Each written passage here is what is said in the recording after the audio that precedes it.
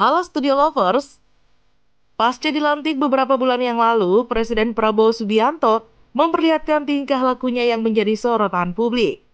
Nah pasalnya di usianya yang sudah tidak muda lagi, Prabowo Subianto tetap mampu mengontrol dirinya untuk bersikap baik kepada siapa saja, terutama kepada atasannya. Salah satunya saat menggandeng Megawati Soekarno Putri, mantan presiden kelima yang juga ketua umum PDIP, menunjukkan jika beliau memang memiliki adab dan etika yang layak dimiliki oleh seorang pemimpin. Nah berikut ini ada 10 adab Prabowo Subianto yang tertangkap kamera dan menuai banyak pujian.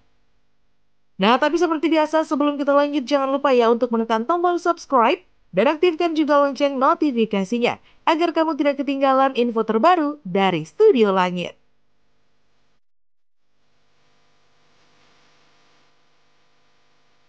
Tidak injak karpet merah. Nah, terdapat momen menarik nih kala Prabowo Subianto, Presiden terpilih Indonesia periode 2024-2029. Ia menjabat sebagai Menteri Pertahanan menghadiri gelaran perayaan Hari Ulang Tahun ke-79 Republik Indonesia di Ibu Kota Nusantara IKN. Pada Sabtu 17 Agustus 2024, terlihat sejumlah pejabat termasuk Presiden Jokowi langsung memasuki istana negara. Mereka terlihat menaiki tangga yang telah diberi karpet merah. Namun Prabowo Subianto yang juga ketua umum Partai Gerindra mendadak keluar dari barisan.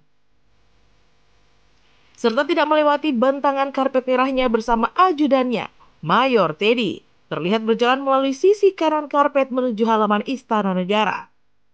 Nah menariknya sosok pas pampres Presiden Jokowi mengimbau Prabowo untuk melewati karpet merah tersebut akan tetapi Prabowo tetap enggan melewatinya. Hmm, salut banget dan respect pak. Berdiri saat Jokowi hendak duduk. Nah momen berikutnya nih Studi Lover saat Presiden Jokowi berjalan hendak kembali ke tempat duduknya di upacara hari ulang tahun ke-79 Republik Indonesia. Di mana Prabowo Subianto yang berada di samping sang presiden tetap berdiri menunggu Presiden Jokowi duduk terlebih dahulu. Nah, Menteri Pertahanan yang disegani dunia saat itu tidak tinggal pasif. Ia langsung menyalami kepala negara. Tampak Presiden Jokowi sedikit terkejut dan langsung balik memberikan salam sembari menyunggingkan senyum kepada Prabowo.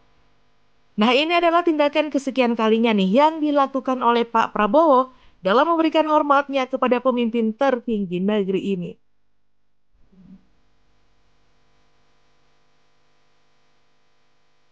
Berdiri saat pidato terakhir Jokowi.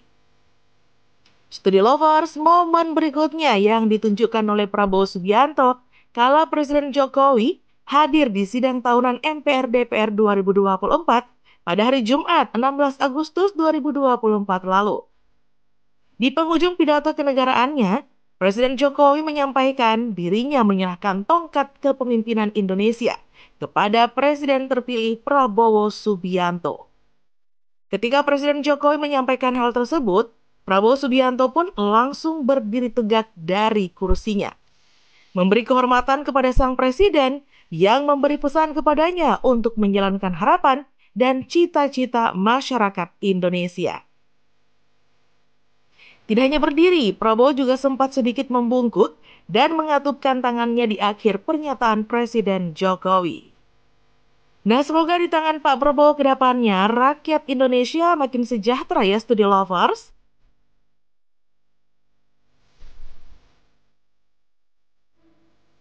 Minum kopi menggunakan tangan kanan. Di balik cara bicara Prabowo Subianto yang selama ini kita lihat tegas, ia masih sangat konsisten menjunjung adab loh studio lovers.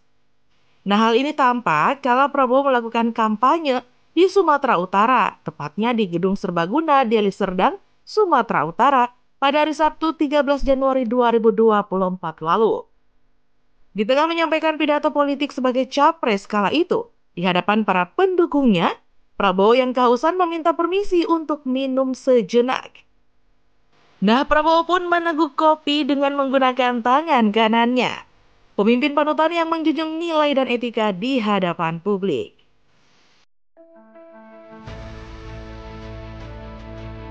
Gandeng Megawati. Nah berikutnya nih, adab yang ditunjukkan Prabowo Subianto yang juga banjir dengan pujian adalah menggandeng Presiden kelima Indonesia, Megawati Soekarno Putri. Nah Prabowo tampak menggandeng dan membantu Megawati naik tangga. Peristiwa tersebut terjadi pada 6 Juni 2022 lalu, di mana kala itu para tokoh atau pejabat penting tanah air hendak menghadiri sidang terbuka program Dr. Sekjen PDIP Hasto Kristianto di Universitas Pertahanan Bogor, Jawa Barat. Nah pada momen itu juga Megawati memang terlihat menggunakan tongkat saat berjalan kaki hendak menaiki anak tangga. Namun dengan sigap Menhan Prabowo Subianto menggandeng tangan sang ketum PDIP tersebut. Tampak bukan pencitraan, murni karena Nurani yang bergerak ingin membantu. Emang jadi naluri Pak Prabowo ya studi lovers? Tolak Erdogan antar sampai ke mobil. Ada momen di mana Prabowo Subianto menolak diantar ke mobil oleh Presiden Turki, Recep Tayyip Erdogan. Hal tersebut terjadi kala keduanya keluar dari istana kepresidenan Turki pada hari Selasa 30 Juli 2024 lalu. Nah, dalam momen yang penuh penghormatan tersebut, Kendati Prabowo menolak Erdogan, tetap ingin mengantarnya hingga ke mobil yang sudah menunggu di luar. Seraya mengarahkan tangannya ke depan sebagai syarat. Padahal Prabowo sudah terlihat mengulurkan tangannya kepada Erdogan untuk bersalaman saat berpisah di luar kantor. Namun Erdogan memilih untuk mengantar Prabowo, menunjukkan kedekatan dan saling menghormati antara kedua pemimpin ini. Sudah bukan omongan belaka jika Pak Prabowo memang disegani dunia. Segan tapi sopan ya studi lovers.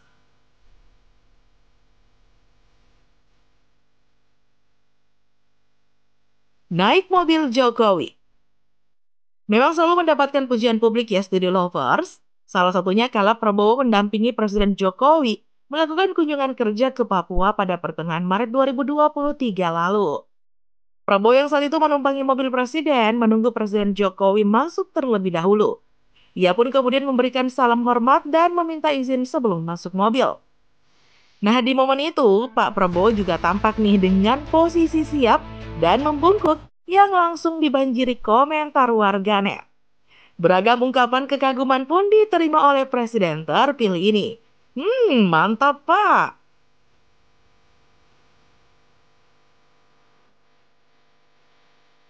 hormati senior.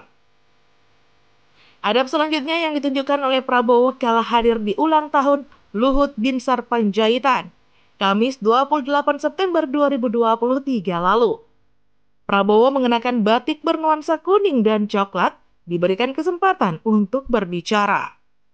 Ia pun mengenang kebersamaannya dengan Luhut yang juga berdiri di atas panggung dengan setelan kemeja putih dibalut jas hitam.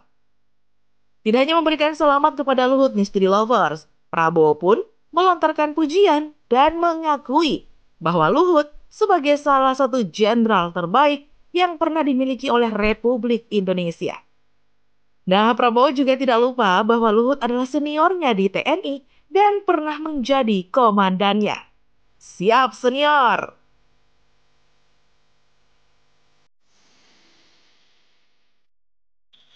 Nah itulah tadi 10 adab Prabowo Subianto yang tertangkap kamera Studi Lovers.